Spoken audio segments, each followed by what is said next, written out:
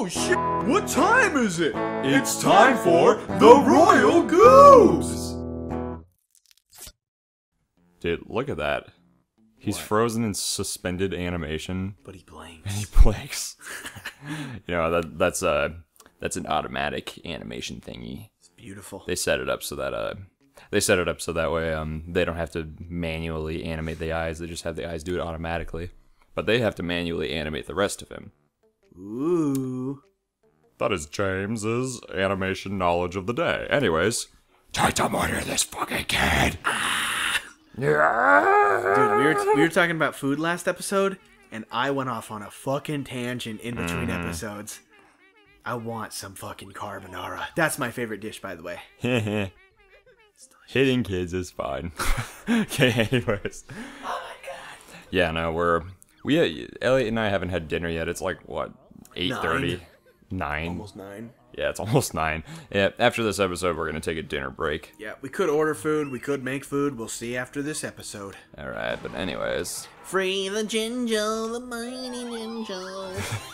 La la la la la. Free the Gobi, the mi- That's not a Gobi. Free the dinosaur. I love the voice of the dinosaur. By the way, it's like.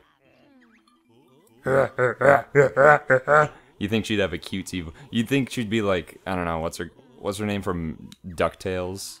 What's DuckTales. Webby? Webby, you know the little girl duck who's like, "Mommy, I want this," and that, and that, and that," but instead it's like, I will eat your soul. If you weren't also Satan, I would eat your butthole out. "Oh my, Grenade. oh yeah." I'm not going to chuffing trainers in which was you fucking ungrateful son of a bitch. Get out of that cage. yeah. James, Yes. would you like to tell? Oh, she's such a tiny little tail. Would you like to inform our viewers on something about you that they don't know yet? Oh damn! Oh man. I- Okay, I, was gonna talk to Gobi. Oh, there's there's a pleasant little conversation they have before. What does he say? He says like, "Oh hey guys, how's it been? It's been a long time because you want to free me?" And because he was like, "No, not really." And then he's like, "Oh, that's no way to treat an old friend who you abused." he doesn't say that part, but Oh, rip. oh, what's here? I was gonna say, Is your what what's a fact that our audience doesn't know about you that you could share? Uh, hmm. You know, that's one thing I, I like about you. you. You're very good at asking other people questions. You know that? Here's one fact about. What here's is one. a question that you like that Elliot asks about you? Here, here's a fact about me. I really like the way that Elliot asks in not just on Royal Goobs, but in like real conversations Real we have talk. in real life. We um, he does a very good job of asking other people uh about themselves because you know a lot of people don't do that. They're everybody's. There's a lot of people who are so like about just themselves, focused on themselves that for sure. looks like a rabbit, doesn't it? Yeah, it does. It's like satanic. It's like yes, I'm a rabbit. I like to eat carrots, and I also love fire. Oh, what would happen if I pulled the fire alarm? um. Anyways, but yeah, no, I, I think that's a very good quality to have to make sure you ask other people about themselves. You know, Thanks, cutie. that's how you get. I think it's just because like I, I've realized that like you know I'll talk to coworkers, whether it be my current job or old job, and I'll say like, "Hey, how was your weekend? How was so and so?" And they'll they'll go off and answer me for like five minutes, and then they'll never fucking like ask, it back you. or anything, um, which which is fine. I just realized like human beings just like to fucking diarrhea mouth about themselves. People are pretty self-obsessed. Yeah, Oh wait, didn't I already get the fries? myself included. I mean, look at me, handsome, hot nips, full set of teeth. Your nippers are pretty nice. Yeah, they're pretty great. Uh, by the way, when we film Royal Goobs, I um, am shirtless and have magnifying glasses on my nips every every time. And you're only for me to see. Even Jen doesn't get to see yeah. that. Yep. Yeah, James. Uh, hey, here's Weird Al. No, it's interesting though. Yeah, yeah. People, if you ask someone about themselves, here's a pro tip from from King Cletus, right? Mm-hmm. If you're on a, a first date, right, and you don't know what to talk about, If Ask you them. Ask them. That's like dating 101. Yeah, and Would you just agree just, with that? That that and just like human being Friends 101. That's just human being social interaction 101. If Yeah. if you if you everybody's in that look at that he has only like one out of four star. stars. That's probably like a safety rating or something. Um, I never realized that actually. me neither. Wow, little tiny details that we don't notice until 17 years later. Um, Easy. so yeah, no, like that's just something that's if everybody has times when they're talking to people and they have awkward silence. A little silence is okay here and there. Yeah. I mean, it's it's just natural, you know. You don't want to force yourself to be constantly talking. That's just that's just not good.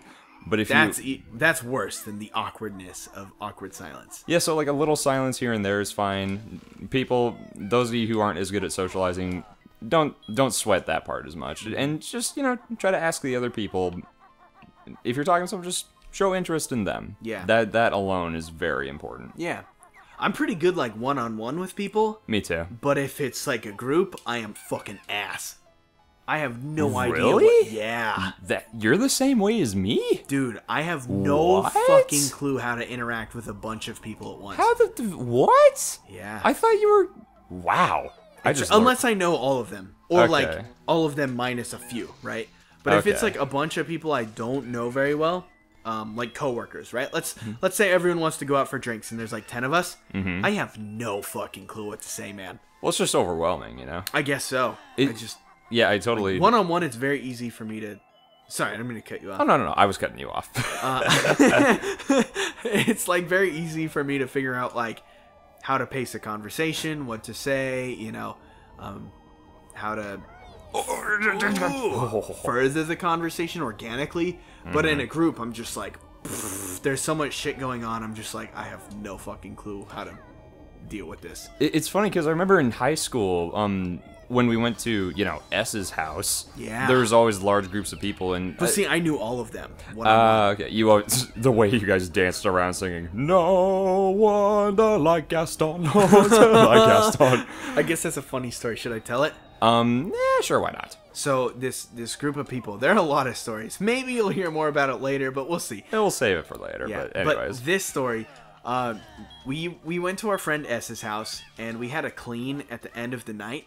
Right, we'd stay up all fucking night. There'd Mm-hmm. be like ten to twenty of us every time, and we'd make a huge ass fucking mess. His parents were like the nicest people ever for having us over every Mm-hmm. fucking Friday, and uh, we'd make this huge ass mess. So we'd either put on the Mulan song, "I'll Make a Man Out of You" on loop, or the Gaston song. Well, no, no, no. Sorry, we didn't play Gaston when we were cleaning. We'd play Mulan to clean up. So we'd play that. Everyone would like form an assembly line and just fucking clean chips off the ground and fucking throw away trash, etc. But the uh, Gaston thing, we'd like fucking go crazy yeah, dude. we'd we'd hear that song, we'd all like line up and we'd like throw the furniture on the ground, we'd like fucking throw burgers on the wall and shit, which is why we had to have the Mulan song to counteract that shit. Everyone would just go oh, fucking nuts. We'd like Oh, I get it. I'll make a man out of you. Like, be responsible. Be a man, you piece of shit. Pick up that burger you threw at the wall. You guys threw shit or I never saw that. Yeah, it was I just saw you. I just saw you guys jumping and dancing in a circle, singing "No wonder like Gaston." Yeah, dude. Hey, look, it's Mr. Pants.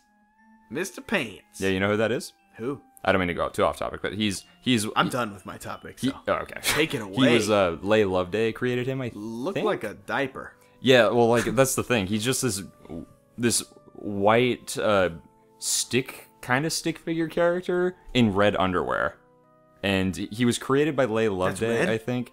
Yeah, I mean you can't quite tell because obviously, but it's just a constellation. But uh, Oh. yeah, I think I he. thought you were saying like, yeah, it's red, but you can't see it because you're colorblind. But so um, oh, should we begin the? You know what? Screw it. We'll Go do. for it. We'll do dodge 'em challenge.